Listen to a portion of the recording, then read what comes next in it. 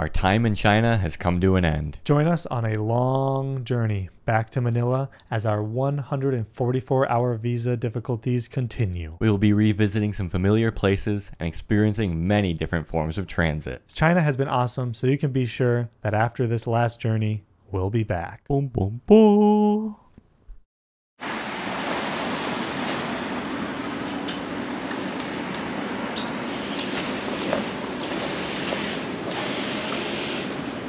Good morning from Shenzhen. The metros are closed and it's almost 7:30. Something's going on. Something's fishy here.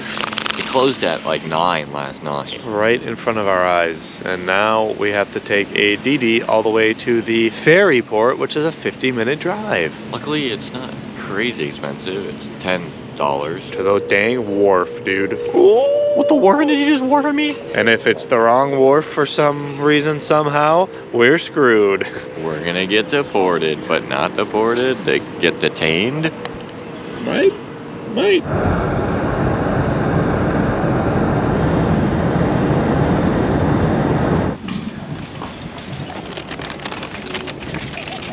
We made it to the port. Or I should say the Shenzhen Shekou Cruise Center. Uh, it's not a port, it's a cruise center. Mm. We're cruising on the water. Mm. This area here is really cool. I mean, we drove and there's just skyscrapers on skyscrapers. Ah, well, hopefully everything goes smooth. We get on this thing and then we're right sailing off to Macau. we already have our ticket, so we don't have to worry about not getting on or something like that, hopefully. If we don't get on, then things are very, very, very poor. and it's gonna be very expensive. Let's go. Oh, this is pretty big. Wow, this is pretty impressive. This is a lot more epic than the Hong Kong ferry port we went to last time. One's kind of oovers. Holy nuts. the corridor wasn't open. Dang, yeah, but the Colonel's even in a Chinese New Year attire. Uh, you can sail all the way to Da Nang? Really? That's pretty far. Let's sail to Da Nang. That would have been a cool uh, cruise right there, just along the coast. We're in the cruise center. We are. We could go anywhere we want. International to the right. Wow. Self-service ticketing. Hong Kong airport check-in. Oh, why wasn't there any ferries directly to the Hong Kong airport available for us? All right, let's try to do this check-in, see what we have to do, and here we go.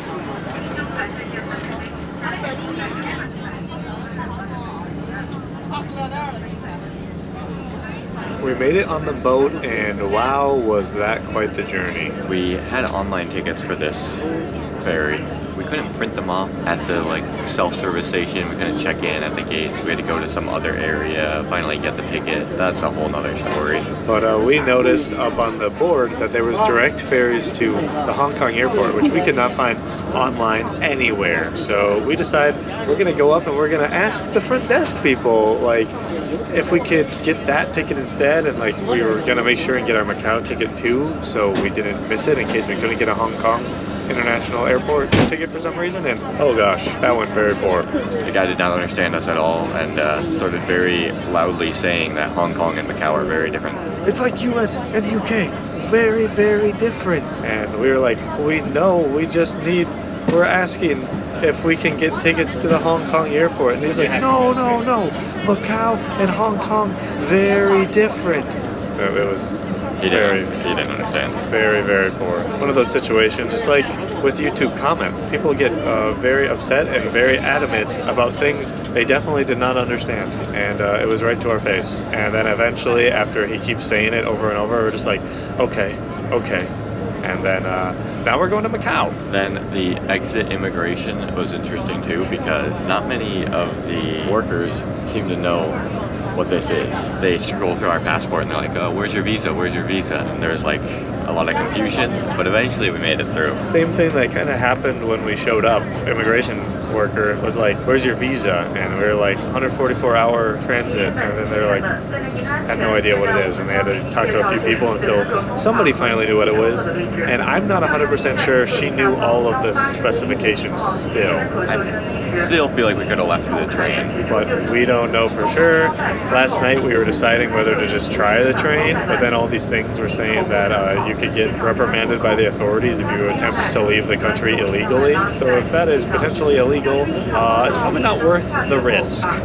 So We are legally exiting the country at the moment. and it's probably going to cost us about uh, sixty dollars a person more than it had to. Very unfortunate. Possibly got screwed by officials, or we didn't do enough research, even though we did as much research as possible. I don't know what the deal is, but we did so much research for this visa, and it was so.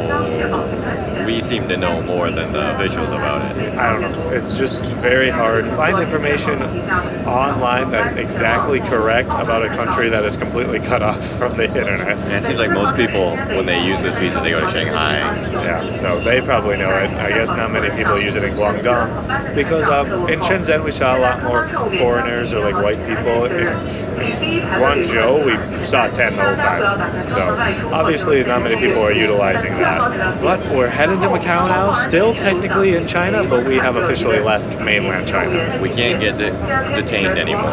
No, not yet. They'll hunt us down. You left the wrong way. We got an hour ferry here to Macau, and then we'll have a few hours in Macau before having to catch another $30 bus to the Hong Kong airport. That might also be a mess. Nothing that we book online seems to translate directly to any like self-service kiosk, which is very unfortunate. So that's just our uh, our story here of Chinese entry and exit. Stressful exit from China.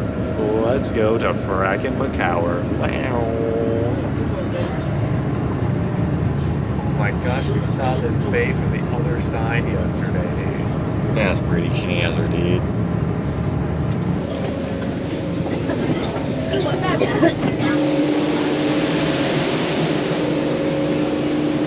Welcome to Macau. We're taking advantage of the free shuttle service. Just got through customs and out of the ferry port. Head downtown to the Lisboa, but unfortunately, so is everybody else.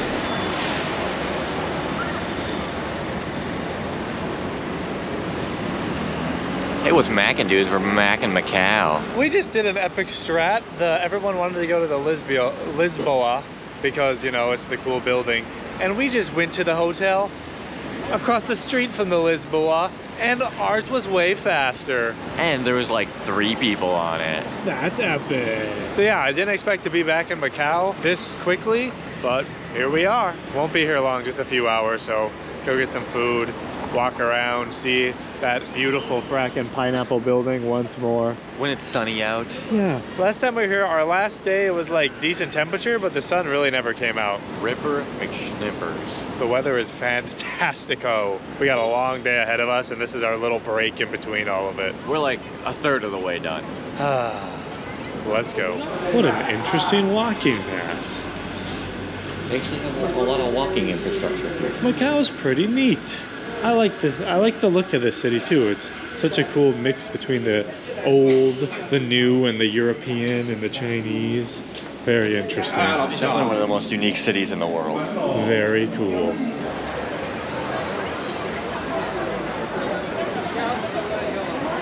Macau is a lot busier than last time we were here. My gosh, there's people everywhere. What an interesting looking building.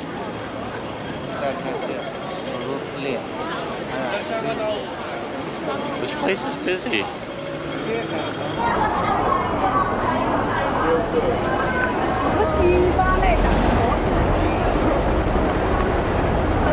Now we're going into the old Grand Lisboa to get a shuttle bus ticket. Oh my gosh, it's so busy. This place is crazy. There's another Chow Tai Fook inside. Let's go. Guys, I've counted uh, 11 Chow Tai Fooks and Luk Fooks. Are we gonna go down?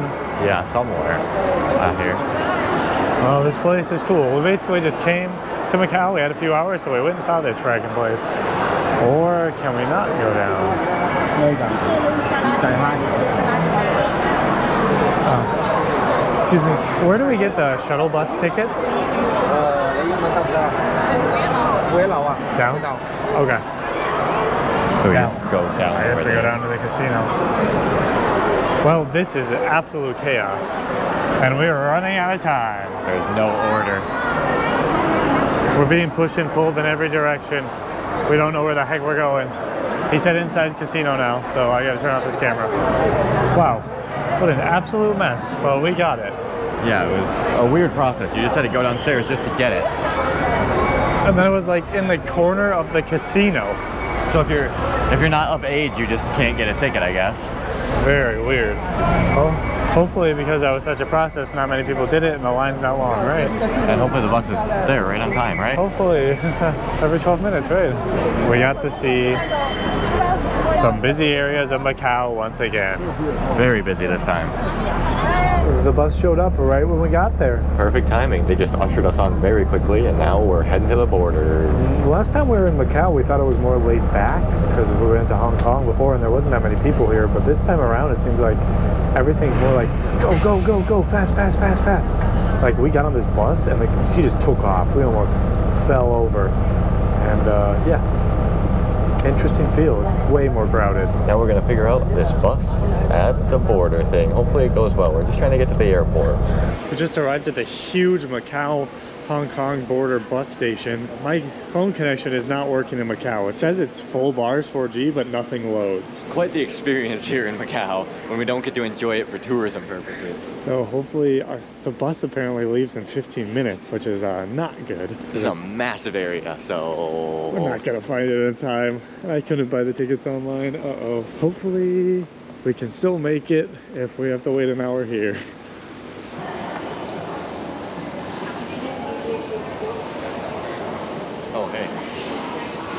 Didn't see you there.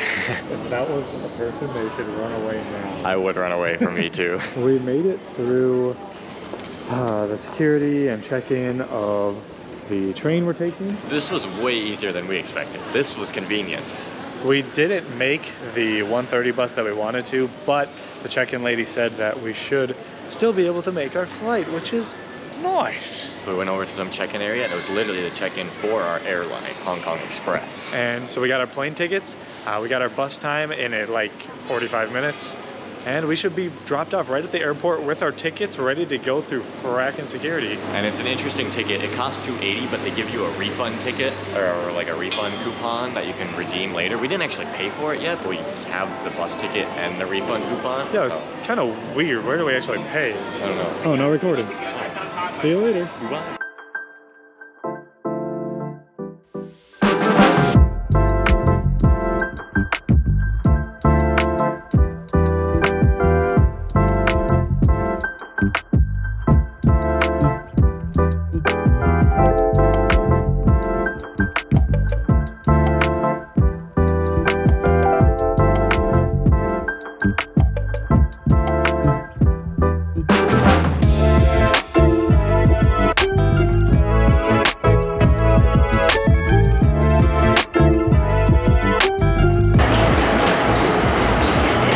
landed and we went right through security. It was, it was just a nice like 40 minute drive over one bridge. We're not even to Hong Kong yet. We're just at the Zhuhai, like the airport. Pretty, pretty smooth. That was like the most smooth thing we've done this whole trip. Uh, the only thing that's confusing is we went through security, like our own private security. We went to the refund counter and they gave us the refund in cash. We don't know if we paid for the ticket or not. He never took my card and we booked through Kiwi.com, not Hong Kong Express, so they shouldn't have my card. The terminal. So All but maybe we'll update you if he got charged on his credit card. We just got paid. wow. The Hong Kong airport. Pretty dang fancy. We've been here, but we don't remember it at all. I don't know why we don't remember it, but this is really cool. They got triangular uh, typhoids on the ceiling. Typhoid fever? Yeah, I don't. I don't think. I don't even know what typhoid means. I just know it because of typhoid fever. We're going to the observation deck. I don't know what that means, but I want to observe some things. And we got like an hour and a half till our flight even board. So let's see what we can observe. We usually are never this early past the gate. Having to get on the bus so early made it so we are here super, super early, especially since security was like five people. Where the heck are we going right now? This airport's cool too because it has very large glass, so you can just see like the massive mountains over there. Wow. Oh, the observation might, deck might be sick if we can see those. This island of Hong Kong, because we weren't able to see this last time because we just got right on the train and just zoom right into the airport. It looks awesome. I will I want to come back to Hong Kong just to explore this island. There's a little cable car we got some B-roll of on the bus. So there's things to do out here. Obviously, they have the resorts and such, the amusement parks. Disneyland is out here somewhere. But SeaWorld, SeaWorld's out here, I think, right? yeah, the ocean park is on the other side of Hong Kong, I know. Is it ever going to be cheap enough to come here? It's expensive. I mean, just that bus, if we did pay however much we did, was kind of expensive just for a bus. We, our bullet train from Guangzhou to Shenzhen was $12 USD, and with the refund, that bus was about $20. Coming here after China would be shocking, I bet. Because it'd be like the same food, the same type of things, the buildings look similar, but everything would be like double the price. And the culture's slightly different. a little more fast paced here than in uh, Guangzhou and Shenzhen. It's, there's just like pacing, like even the employees. In Guangzhou and Shenzhen, the employees were always really friendly and they would be like patient with the whole translation thing. Here, I feel like they'd be like, let's go, let's go, let's go, let's go. They're very fast paced. They want things to be done. Uh, is this it up here? This nice big glass fracture? So, There we are. This is the big moment here. The observation deck. really cool. It's actually outside. Oh, it's a smoking area. Oh, that's less cool actually. This guy's already gone out, so we're gonna go and we'll jump back in. Well, there's definitely planes out there. It's a lot louder out here. You see all the all the all the mumbo jumbo going on. Stinkier too. Lots of smoke. But there's the mountains. I don't like Oh, mountains. there's the cable car in between. Oh, a butterfly. Don't come in here. No, it's bad for your lungs. The cable car goes all the way to the top. I wonder what's up there. Ethiopian Airlines, epic. Go. Next trip, guys, Ethiopia. And then we're gonna be transiting through the rainforest into the Democratic Republic of the Congo. Look at the jungle river trek. We have made it. We're flying back to the Philippines in about an hour and a half. It was a long day, kind of. Everything kind of went quick, but also super long at the same time. I don't know how to describe it. We've done a lot of things. It was a lot of, it was a long, confusing process, but we fracking made it. We're gonna take a break for a bit, and then we'll be on to, to our next adventures very, very soon. A special country. Have we been there? One of them.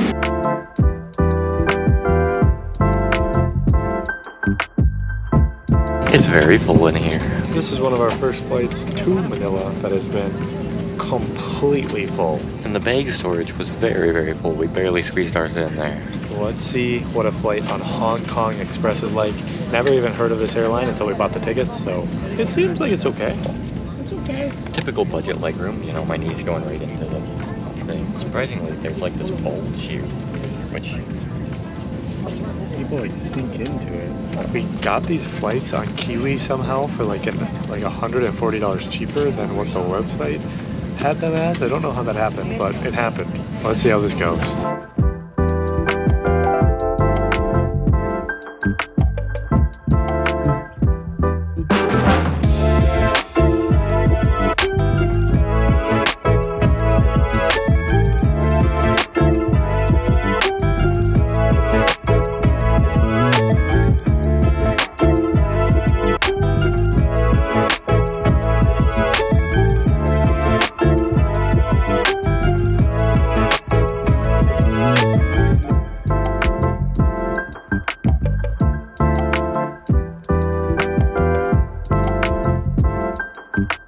We have landed back in Manila. They're doing a new e-travel thing. Well, it's the same e-travel thing, but you actually like make an account and submit a very cute picture of yourself. And we got some very cute pictures. But we are back.